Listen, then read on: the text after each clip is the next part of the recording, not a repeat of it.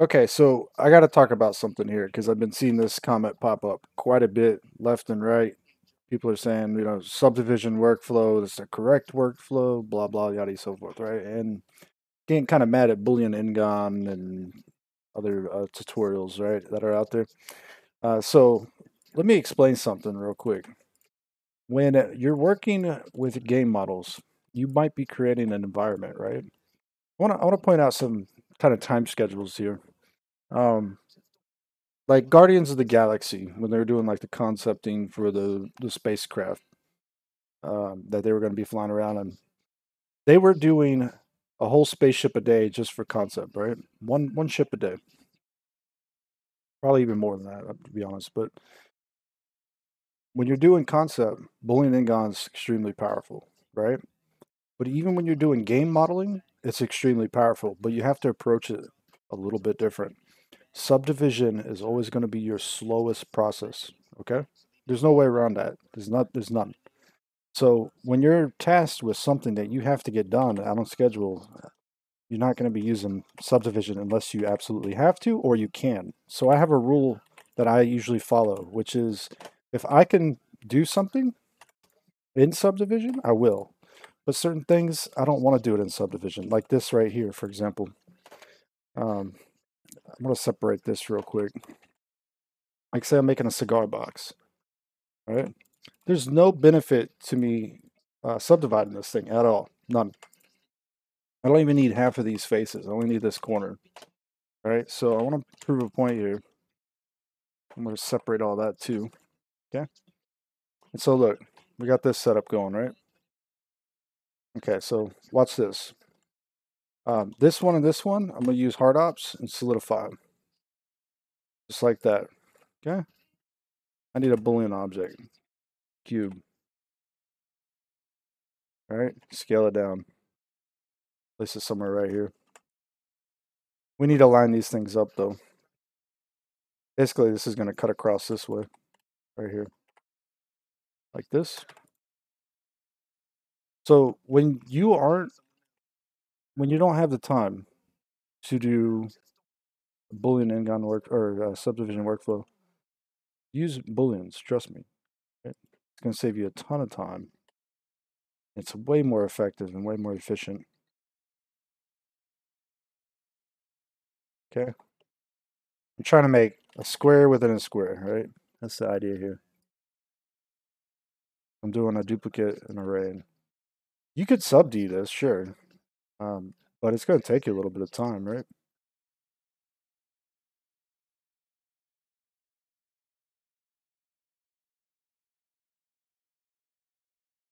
It's going to be hard to kind of balance this, but we'll get it. All right. So here we go. We need two of these. All right, so one, I must subtract this one from this side. Okay. This one from this side. So what I end up with, or I should end up with, I might have screwed it up, but I have to pull these out a little. All right, so that Boolean completes.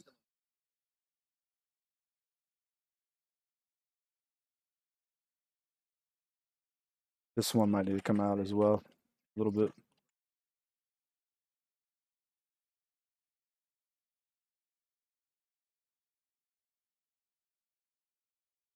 Okay, so this is what's going on, right? This mesh, this mesh. I'm gonna do a bevel on it. I'm gonna keep it extremely tight so that I can work with this later. Weight the normal, so alt click sharpen with hard ops. It adds a weighted normal modifier with keep sharp. Shade auto smooth. All right. This kind of detail, while it might not be required for most things, in certain situations, you actually want this, all right? Remember, when you're doing game mod models, it's high poly first, and you worry about low poly later. Yeah. You have to get it exactly the way you want it to be. And if you can do it procedurally, non-destructively, non-destructively, This is it, man. Right. So this whole piece here is almost basically done. If I put the 3D cursor here in the middle real quick, create like an empty plane axis, make it larger. Um, this piece here, I can mirror across that with machine tools, all uh, Control Shift X or whatever it is by default, but the mirror tool, and then bisect it, flip it if needed. Guess what? It goes across Y too, right? See how that works? Same happens over here. Bisect it, flip it if needed, and then mirror it across X now. Look, this is way easier, way easier. This is just the start of this potentially, but this could be a high or low poly. It depends on your level of detail that you need on how far you're going to work this thing, right? Right now, I got a lid to do still. And if I solidify it, might work out, might not. In this case, it's probably not going to work out, but... Oh, you know what? Yeah, well. No, wrong button. Gotta reorder the solidify right there. You know what I'm saying? Really simple, right? We're, we're, almost done with doing the modeling part of a high poly. All we'd have to do is like the hinges and then some additional maybe booleans, things like that. Um, and we have a cigar box, guys. It's really like to knock something out this fast. It, really shouldn't be a big deal. When I'm saying like you do simple props, it should take you like an hour. It really should. Like we still have to do cigars and the interior, the the labels. We got a, a lot of other stuff to do. There's no reason to spend more time on this than you have to. Um, you know, we're at six minutes into this.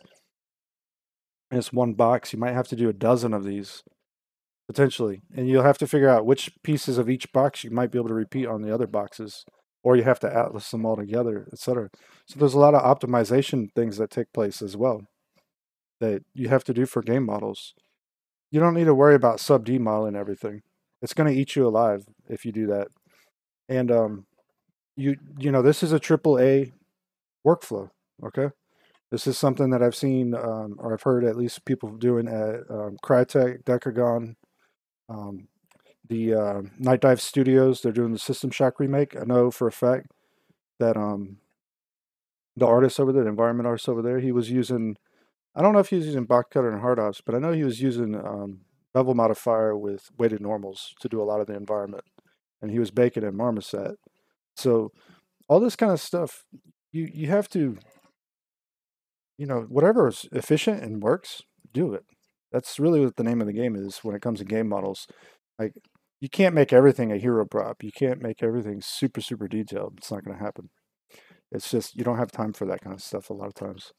So you know, this, you know, next step forward, like we need a low poly for this maybe. Okay. You know, low poly, you have, you just do an overlay and mesh for the most part, right? You can literally just scale it into place. It's kind of the same way we created it originally.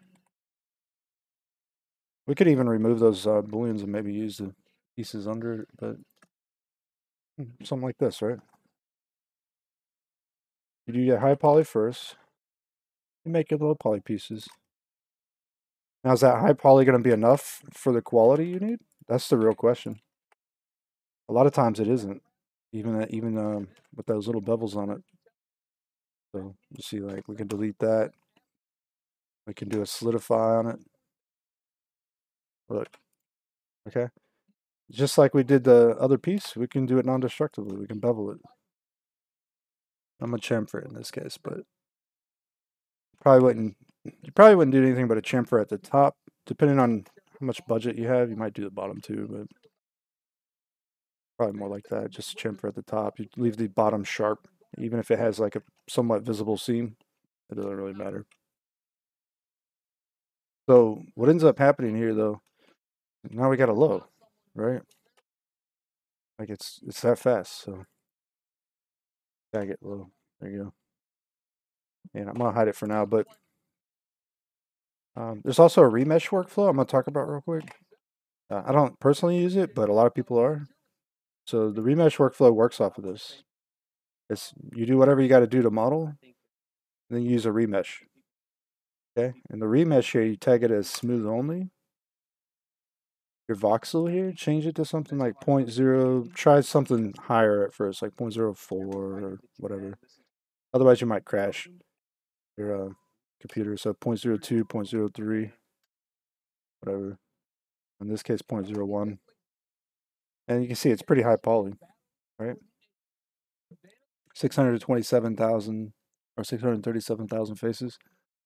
Okay, so you shade this smooth now. You don't use the weighted normal no more. Get rid of it. Okay.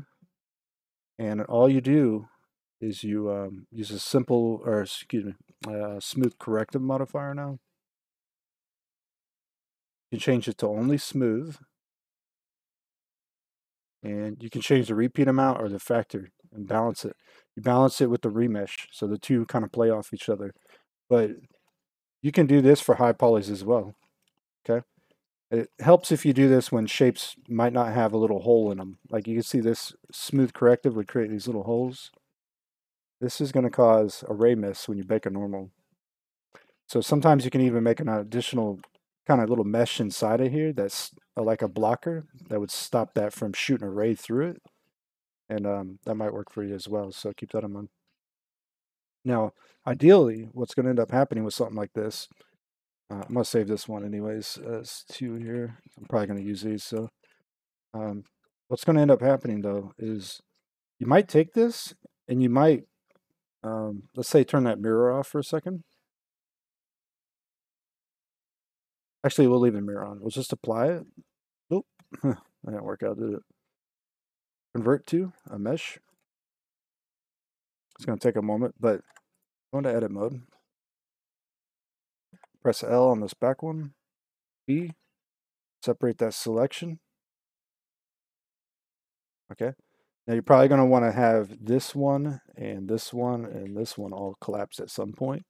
Um, you go back because these little cigar boxes like this, what ends up happening is a lot of times they get little chips in them, little wood chips and stuff. So you could use something like clay strips. And this is high enough resolution now. I mean, it's not perfect quad mesh maybe. Actually, this one doesn't look too bad, but um, you can get it high enough resolution that you can just come in here and start working on it, right? Maybe use a scraper instead. But like this section might get knocked in a little bit, right? A lot of times, both of these, I'm gonna do this one as well. I'm gonna turn the mirror off first, so. Turn that off. So um, when we convert, oh, uh, we gotta remesh it too. Let's see, smooth shade 0.01. This will be your high poly, right? Smooth corrective. Convert to mesh. Okay, a little bit rough maybe, but you could take these as you're sculpting. Like here, we can scrape this side, right? Maybe scrape a little bit of this side too, a little bit larger. Alt Q, switch to the next one. So in real life, what what they do, I guess, when they make these little boxes, is they sand down the corners a little bit. Obviously, right? They're not super sharp, uh, splintery boxes or whatever. So these might be kind of flush with each other. You might have to think about that as you're modeling it. Like, how can you get them to be um, really close to each other or whatever? Also, you can close up gaps and stuff with like a grab tool, right? I might just close the gap up a little bit. So they all look a little bit unique and individual. And the best part is, um, I use a couple different alphas. I use like a square alpha. So like pure square, right? And uh, also a triangle works really well. A triangle like that. You can make those in Photoshop or whatever. And then when you set these things up, clay strips here particularly, uh, area plane, uh, spacing five. Usually I turn the input samples up to like four, but uh, constant. The texture itself, you can see down here. Make sure you set this under uh, mapping, or excuse me, under alpha. No, under mapping. I was right. There you go. Extension, set it to clip or it won't work you have to keep it inside this circle when you make the alpha. That's the main thing, right? You Just keep that in mind.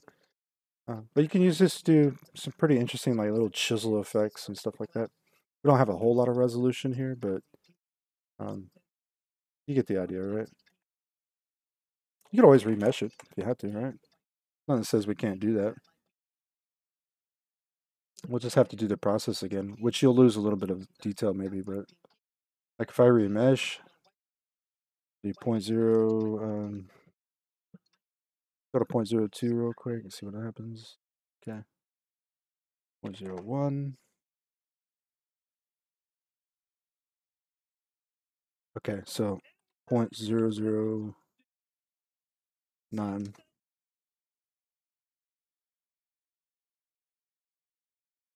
Point zero eight.